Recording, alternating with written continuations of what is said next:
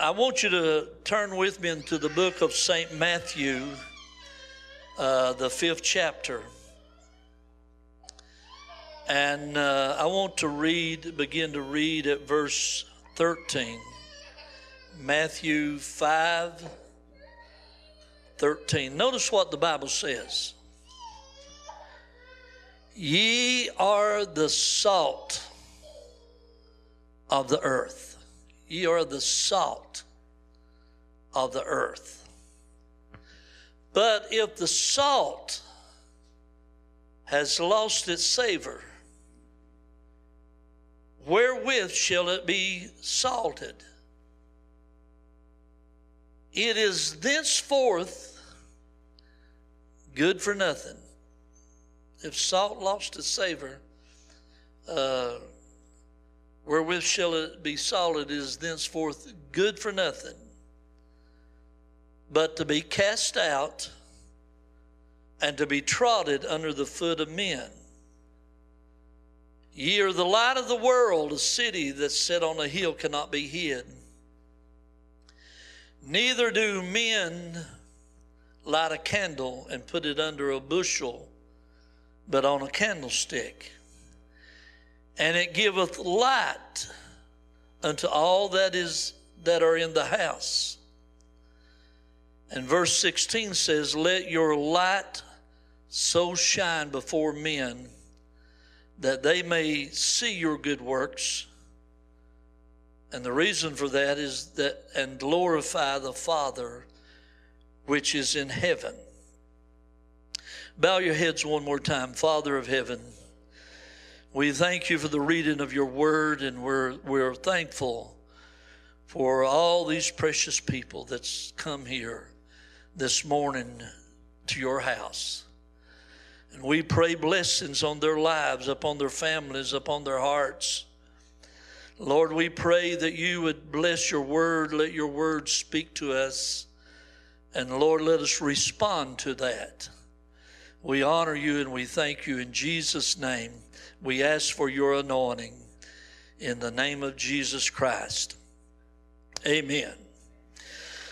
Uh, here, the Bible speaks, Jesus is talking. And he said, You are the salt of the earth. You're the salt of the earth. Salt is what purifies, salt is what preserves. You are the salt of the earth. But if the salt has lost its Savior, wherewith shall it be salted? It is thenceforth good for nothing but to be cast out and trodden under the feet of men. Then he talked about you're the light of the world. I want to talk speak this morning uh, that you're salt and light. You're salt and light. Uh, that's what we are. And that's what we're supposed to be. We're, uh, we're here in this earth, in this world, to be a difference maker. We're here. Uh, as I've heard folks say, we're, we're not here just to suck up air, but we're here to make a difference to this world, to make a difference to your family and neighbors and friends. Uh, the church, the true church, is the answer to all the problems in America. And there's there's a lot of problems in America and there's a lot of problems in the world, but the true church of God uh, is the answer.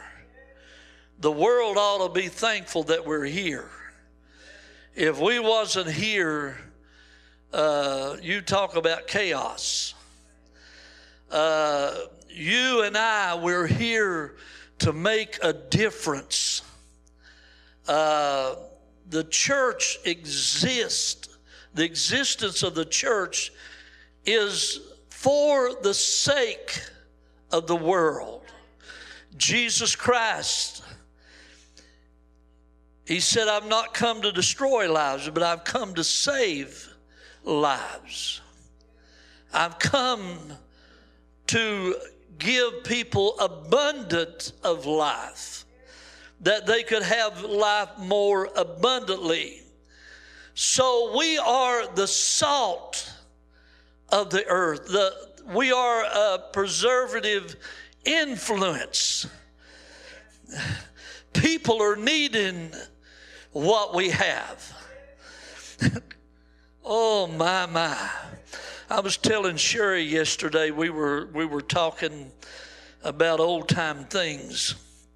And I was telling Sherry that uh, when I grew up, Dad had a smokehouse. Uh, and I'm not going to ask you to raise your hand, uh, see if you know what a sm- don't know what a smokehouse is.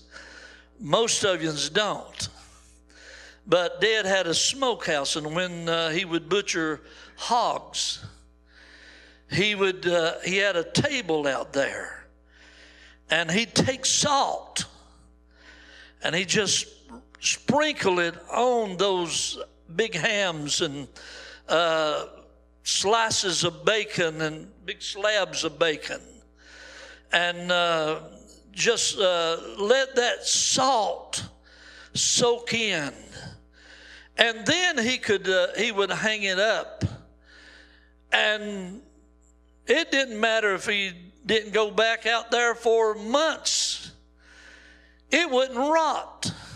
It wouldn't spoil because of that salt that that was put in.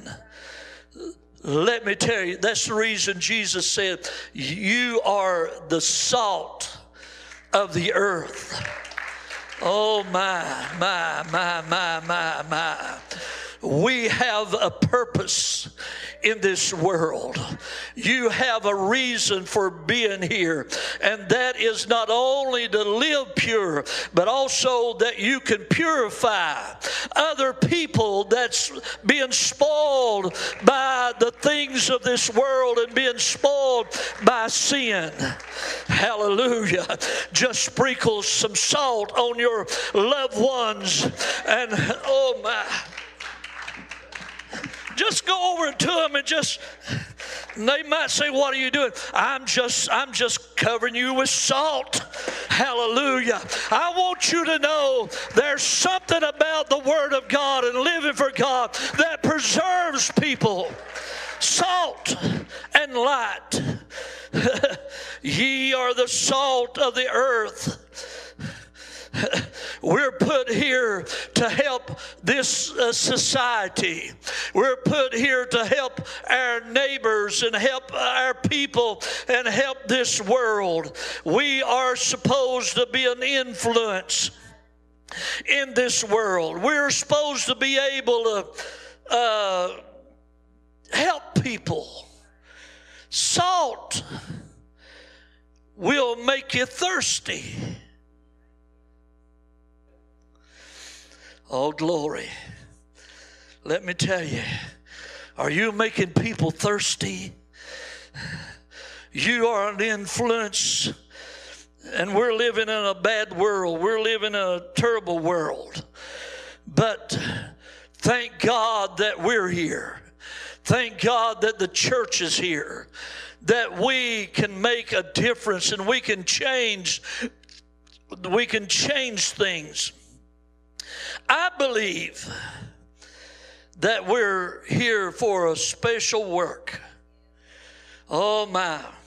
If God wanted to take you to heaven, if that was the only thing that He wanted to do, to take you to heaven when you got saved, He would just stop your heart and took you on. But every one of us here there's a reason for you being here. And if you don't know that reason, you need to find it out. There's a purpose for you being here. So he said, You're the salt of the earth. Um, but if the salt has lost its Savior, uh, its effectiveness, it's not good for anything. There's, there's people that has lost the savor, the effectiveness of, as we were singing that song about a testimony. There's people that's lost lost their influence because they have uh, out there in the world they don't live like a Christian. You know. I mean, let me tell you, from the time I got saved, I worked around people that uh, that uh, went to church every Sunday. And at work, they would curse and go on and tell dirty jokes and things like that. And that just, that just, to me, it lost that effectiveness, that influence.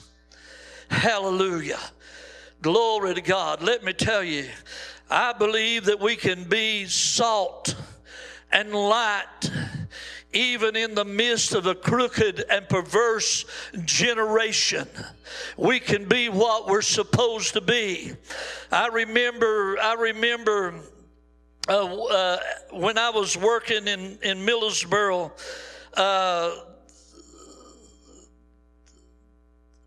they put me with this guy in a little room. And we was working and he was just uh, carrying on all kinds of junk. And uh, he would come up and he would ask me something vulgar, you know. And I would just look at him and and I, I just tell him, I'm not talking that way. And here's what he said. He said, I knew you was a Christian. I was just going to see what you will do. I'm glad that I was salt. Hallelujah.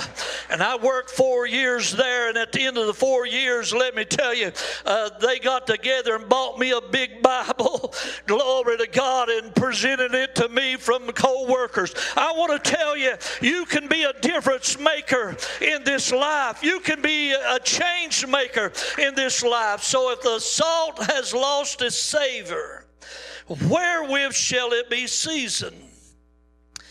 Uh, so we are here as salt. The true church of Jesus Christ is so powerful. Now I know there's there's a lot of churches that's already lost their savor. I mean, because they allow anything, everything, and uh, everything. They've lost their savor. Last week I mentioned about the Antichrist. I want to talk just a little bit more about that and uh, uh, what it means to be a Christian. And in Second Thessalonians 2, second chapter 1 through 10, uh, the, the church's presence is here to hinder evil. We are here to hinder evil. So let me read this. Paul here talked about the rapture and talked about the second coming of Jesus Christ, which is two different things. He was talking about the rapture and he was talking about the second coming of Jesus Christ. Now, you don't have to be worried about the rapture if you're saved. if you're if you're a Christian, don't even worry about the rapture because man, that's what we're looking forward to. How many's looking forward to getting out of here? That's all the rapture is. Just getting out of this place. Uh, it's a catching away of the saints and to meet the Lord in the air. Uh, in the clouds, and so shall we ever be with the Lord. So, Paul here, when he was writing to the people of Thessalonian uh, people, uh, he wanted to set some straight, some things straight because uh, they had a wrong idea about the, the rapture of the church. Listen to what he said in verse 1, chapter 2. Paul says, Now I beseech you, brethren, by the coming of the Lord Jesus Christ, and by our gathering together unto him, talking about the rapture and the second coming of Jesus Christ. He said, I don't want you to be soon shaken in mind or be troubled, neither by spirit, nor by word, nor by letter as from us as that the day of Christ is at hand. What Paul was talking about, uh, there was false teachers and false doctrines uh, that was uh, teaching that he's coming tomorrow. He's coming real quick. So Paul wanted to let them know uh, they don't have to be worried about that. And also there was there was folks that was uh, given prophecy. Uh, uh, and uh, tongues and prophecy. The Lord's coming real quick, real soon, real quick. And it made people worried and afraid. And then also, uh, there was some that had a word, supposedly a word. Have you ever heard folks say, I've got a word for you? Some people has a real word and some people don't have a real word. You have to rightly divide things. Be careful. So some some people had a word and they were saying the same thing. And then even some people had wrote letters and signed Paul's name to it. Concerning Paul said this. This is what Paul said. He signed it that Jesus Christ is coming real soon. Listen to what verse 3 says. Paul said, Let no man deceive you by any means for the day, for that day shall not come, except there come a falling away first. That word falling away, uh, old time preachers talked about the church uh, falling falling behind and falling down. And but that's not what that's talking about. It's talking about uh, departure first.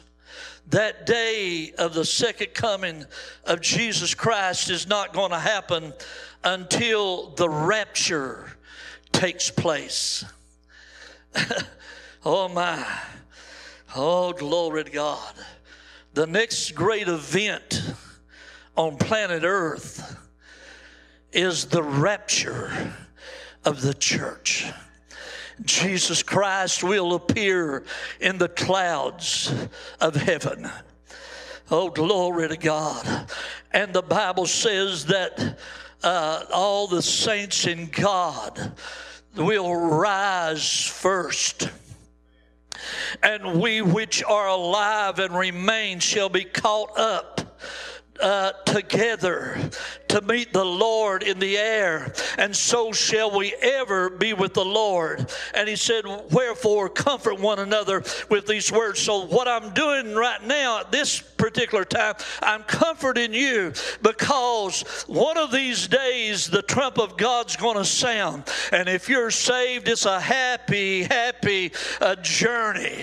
It's a happy uh, exit out of this world. As I said last week, we'll say bye to sin. We'll say bye to the devil. We'll say bye to sickness and disease. We'll say bye to sorrows. We'll say bye to disappointment. Oh, my, my, my. Let me tell you, the rapture of the church is something that's genuine and real, and we're going to be happy.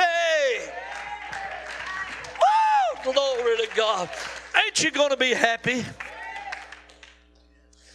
Oh my, glory to God. We're going to be happy.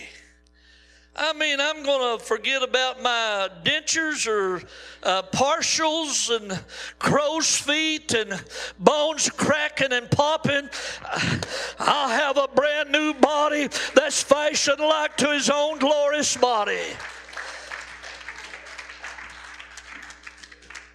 How many is going to be happy about that? Boy, y'all must feeling bad. uh, Oh my, I'm so thankful that one of these days it's going to all be over and we'll have a brand new body. So the rapture of the church is, is a glorious thing for Christians. Don't have to worry. But if your heart's not right, if you've not fixed things with God, if you've not asked Him to forgive you, you should be worried.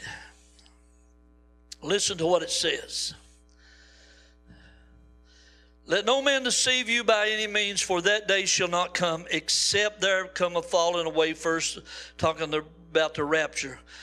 After the rapture, now folks has to be worried if you're not taken out of here, if you're not saved. And that man of sin be revealed, the son of perdition, the Antichrist. That uh, happens before the second coming of Jesus Christ. Not the rapture, but the second coming. This world is going to be in a, in a terrible shape after we're out of here. We're salt and we're light. Hallelujah. And verse 4 says, talking about the Antichrist who opposes and exalts himself above all that is called God or that is worship. He exalts himself. He puts down, the Antichrist will put down all, every kind of religion, and he will take up on himself a deity. I'm the man. I'm the one that's going to solve the world's problem and I ain't worried about that part because I'm going to be out of here and you too. Uh, so that he as God, he will, the Antichrist be as God, sits in the temple of God. And that is the Jewish temple that is to be built. This Antichrist will dismiss any kind of Jewish religions and sit in that temple and make that his sanctuary and his headquarters. Hallelujah. And Paul said in verse 6 Now you know what withholds the church, the salt, and the light that he might be revealed in his time. The reason he's not revealed right now is because you're salt and you're light. You're preserving it. You're, you're preserving uh, the way of worship after we're out of here, there's not going to be any anointing singing like what we experienced here this morning, unless it's just uh, uh, unless it's someone that's uh, in uh, hidden churches uh, for hiding for their lives. But now you know what withholds the church that he might be revealed in his time. The, the church is holding that back. Oh my, every politician they ought to be they ought to be uh, declaring the church of jesus christ as the greatest thing that ever happened to this world. But i want to tell you something. Not every politician has that mindset Many of them are controlled by demon spirits and things like that. That's the reason there's a mess in this world today. But one of these days it's going to all be over. And let me tell you, be thankful for the Word of God that is being preached in our worship, in our world today and in our churches today. Now you know what withholds the church, in other words, the church, that he might be revealed in his time, the Antichrist. Uh, and he's going to be revealed after the rapture of the church. The Bible says, For the mystery of iniquity do already work. It was already taking place back then. False teaching and false teachers.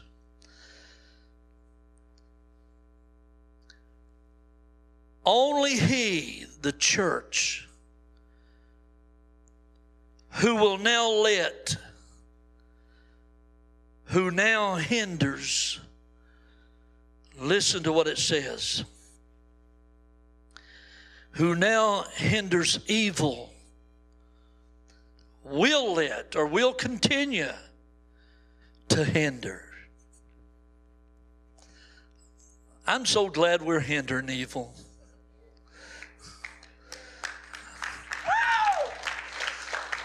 So glad we're hindering it. You might say, well, boy, there's a lot of it out there. Let me tell you, there would be a lot, lot, lot, lot more if we wasn't here. And we're hindering it. But let me tell you, listen to what it says uh, who will hinder it until he be taken out of the way. So we're going to still be salt until we're taken out of the way.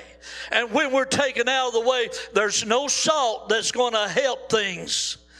Oh, listen to what verse uh, 8 says. And then, talking about the rapture of the church, shall that wicked one, the Antichrist, be revealed, whom the Lord shall consume with, uh, with his spirit of his mouth and will destroy him with the brightness of his coming. Let me tell you, when Jesus Christ comes back this, on the second coming, not the rapture, we are done there with him. When he comes back the second time, He's coming with an army.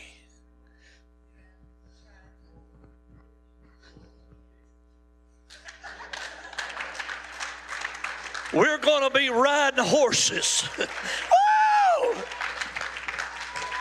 Glory.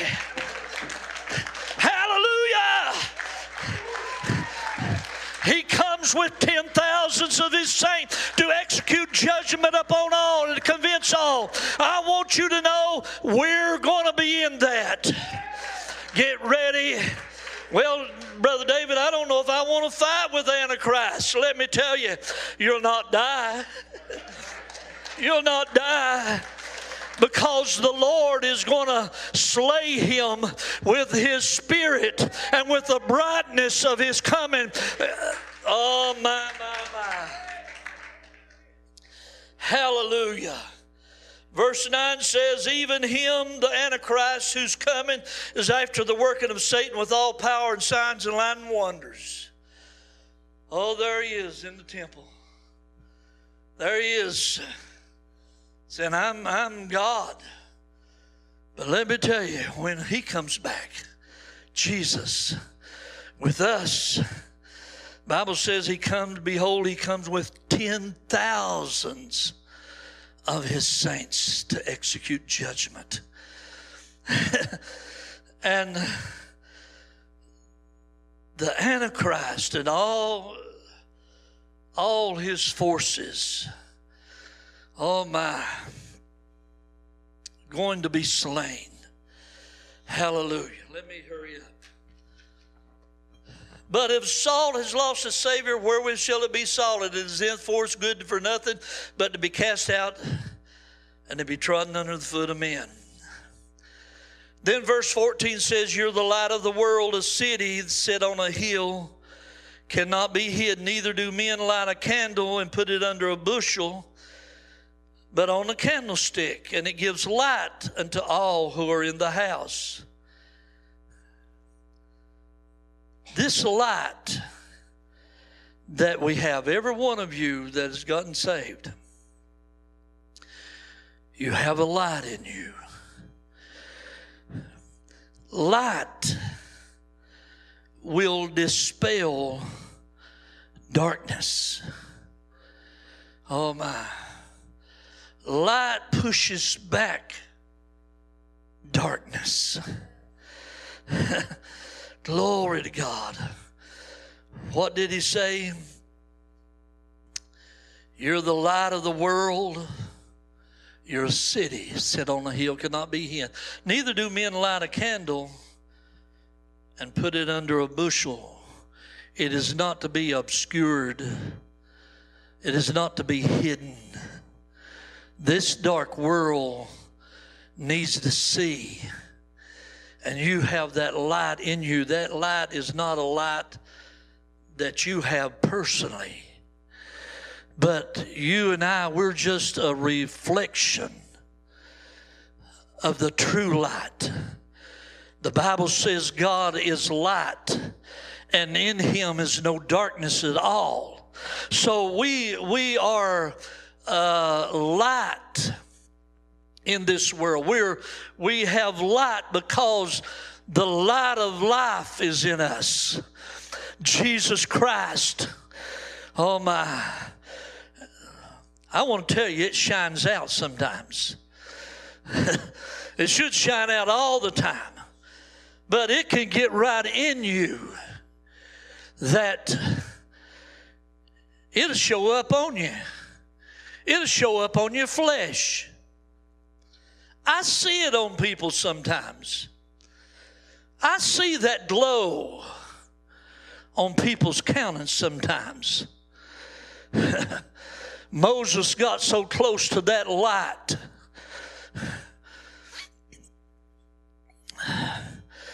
That when he came off the mountain, the Bible says that the skin of his face shined because of the glory of God shining through him. And that's what I see sometimes on people. I see that, that shine, that light. And Moses, when he came off the mountain, there was beams of light. you talk about scary for all those out there committing fortification and uh, worshiping an idol calf and uh, doing everything, drinking and uh, uh everything that you can think of. Moses walks off the mountain and there's beams of light just shooting out of his head. Hallelujah.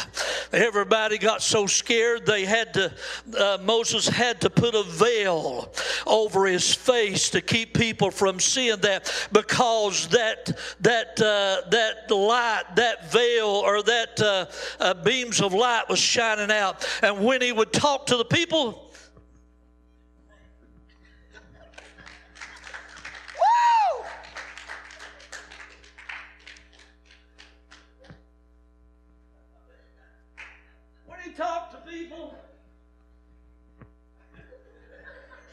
He put a veil on his face because they couldn't stand it. But when he went into the presence of God, he took it off. I want you to know light and salt, you're light and you're salt.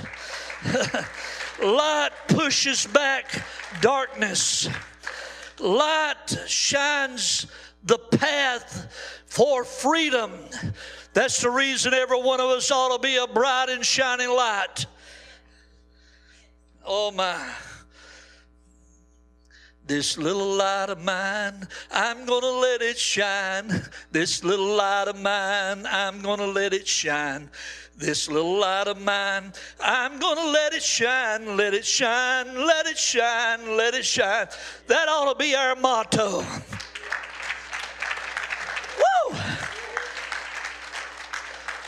Now, some of this stuff, it just hits me and I do it. I don't know if I can do it or not, but I try. So, this light that's in us, there's people in darkness out there. They don't they can't even see where they're going, but the light shines a path to freedom. And the light reveals danger. Danger. We're here today as light and salt. And this world is so blessed because we are here.